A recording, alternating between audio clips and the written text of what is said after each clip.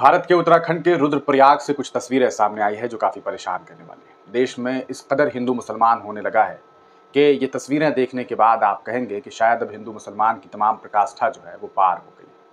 तस्वीरें ऐसी सामने आई है जिसमें ये देखने को मिल रहा है कि रुद्रप्रयाग के कई सारे गाँव में कई क्षेत्रों में जो है बड़े बड़े बैनर्स लगा दिए गए हैं बड़े बड़े साइन बोर्ड लगा दिए गए हैं।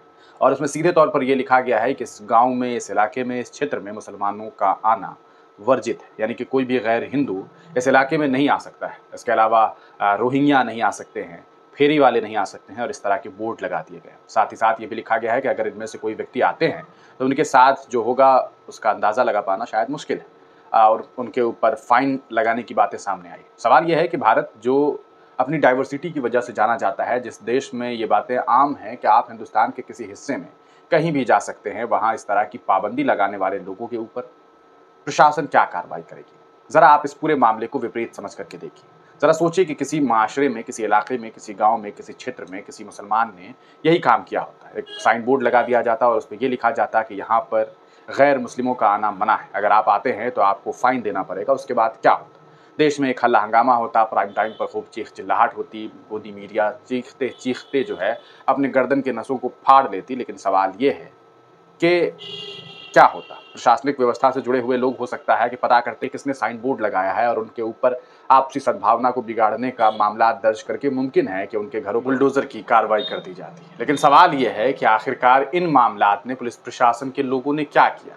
क्या प्रशासन ने पता किया कि ये कौन लोग थे और इन पर क्या कार्रवाई हुई? जो लोग देश को बांटना चाहते हैं, धर्म के आधार पर एक क्षेत्र को बांटना चाहते हैं, एक इलाके में सीधे तौर पर वो ये कहना चाहते हैं कि कोई मुसलमान आ नहीं सकता। अगर आएगा तो हम उनके साथ इस तरह का सलूक करेंगे। आखिरकार इन लोगों को किसने राइट दिया? है आप इन तस्वीरों को देखिए देखिए, सोशल मीडिया पर ये तस्वीरें सामने हैं।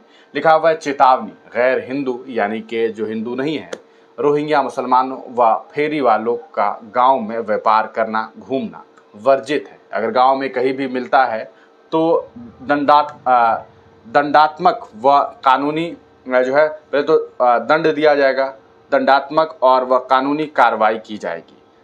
आज्ञा से समस्त ग्राम सभा, न्यालसू जनपद रुद्रप्रयाग की ये खबर सामने आई इसके अलावा आपको और तस्वीर दिखाते हैं। यहाँ देखिए, गैर हिंदू, रोहिंग्या, मुसलमानों व फेरी वालों को गाँव में व्यापार करना, घूमना वर्जित है।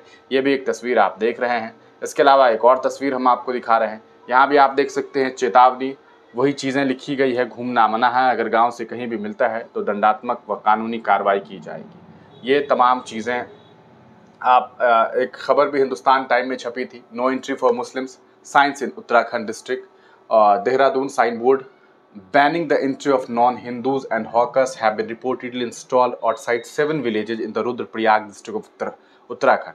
सात गाँव के बारे में यहाँ पर बातें सामने आ रही है Uttarakhand Director General of uh, Police DGP Abhinav Kumar said he ordered local police and intelligence unit to ascertain reports of such or such uh, from multiple villages.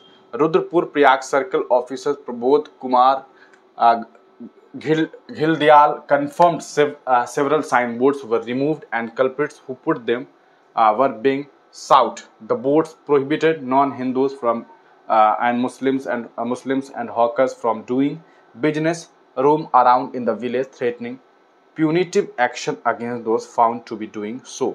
यानी कि प्रशासन कह रही है कि जिसने ये काम किया है उसके ऊपर हम कार्रवाई करेंगे। आ, पहले ये बातें कही गई हालाँकि यहाँ ये कह रहे हैं कि अगर हमारे गाँव में आप आते हैं तो हम आपके ऊपर जो है वो कार्रवाइयाँ करेंगे।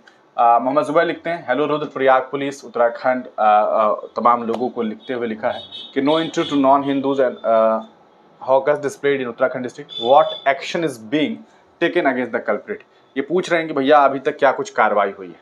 ये एक बड़ा मामला सामने आया है।